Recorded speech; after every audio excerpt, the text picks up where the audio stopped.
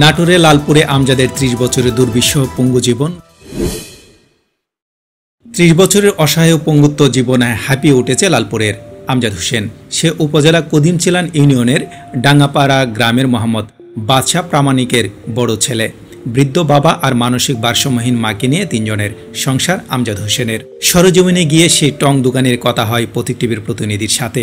এ সময় আমজাদ হোসেন জানান, আমার ভাই আজ তিরিশ বছর আগে আমার সিটটি গাও ধরেছে। এই সিটটি গাও ধরাচ্ছেন দুই পাও কাটে হেয়া দিছি। দুটি হাতের আঙুল দশটা, দশটাই কাটে হেয়া দিছি। সরকার থেকে প্রতিমন্ত্রী ভাতা দেয়। কোনো চেয়ারম্যান মেম্বার আমার কিছু দেয় না। আমার এই নিজে কামাই করে নিজে চলতে হয়। প্রত্যেক মাসে একটা করে জাল বুনে আঠারোশো দুই হাজার করে বেশি। এই যে তিনটি মানুষ, আমার বাপের বয়সও আশি, নব্বই বছর বয়স মাও দুই স্টাফ করি, পাগল হয়ে আছে। তিনটি মানুষ আমরা ফোন করি তিনজনই আমরা এই- এইভাবে চলি কোন চেয়ারম্যান মেম্বাররা ধরেন আমার কিছু দেয় নাই। কিছুই দেয় নাই বর্তমানে। আজ তিরিশ বছর হয়ে ফোন হয়েছে চেয়ারম্যান মেম্বার কেউ কত আগে দিই যে প্রতিবন্ধীকে আমি একশো চার দিছি। প্রায় ত্রিশ বছর পূর্বে সেপটিক গা থেকে সম্পূর্ণ দুটি পা এবং দুই হাতের সবকটি আঙ্গুল কেটে ফেলতে হয় তার। এরপরই পঙ্গু স্বামীকে ছেড়ে চলে যায় তার স্ত্রী। দাদা একজন প্রতিবন্ধী মানুষ জাল বোনায় জাল বোনা বিক্রি টিক্রি করে সে খুব কষ্টে দিন যাবত চলে। জীবিকা পালনের একমাত্র মাধ্যম বাঁশজারের নিচে একটি টং দোকান। পানি হাতে ভর করেই চলতে হয় তাকে। সারাদিন আঙুলবিহীন হাতে জাল বনে সে। রাত হলে সেখানেই ঘুমিয়ে পড়ে। মাসে একটি জাল বনে আঠারো শত থেকে দু হাজার টাকা বিক্রি করে চলে সংসার। আন্তত ভাই একটি প্রতিবন্ধী মানুষ। আমরা অনেক দিন হলে দেখতেছি সে জাল বুনে তার সংসার যাপন করছে অনেক কষ্টে।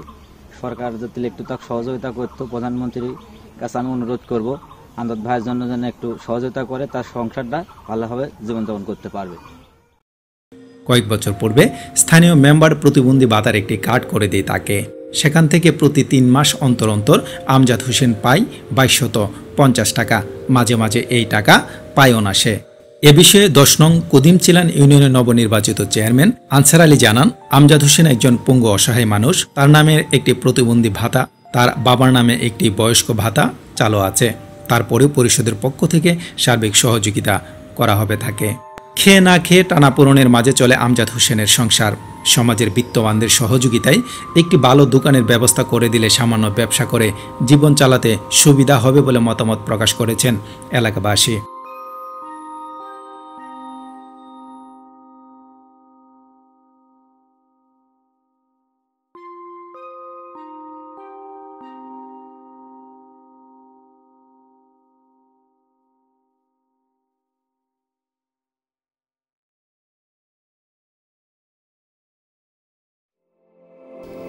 বাংলাদেশ থেকে সম্প্রচারিত আইপি চ্যানেল পথিক টিভি বিশ্বজুড়ে এক মানবতার কণ্ঠস্বর।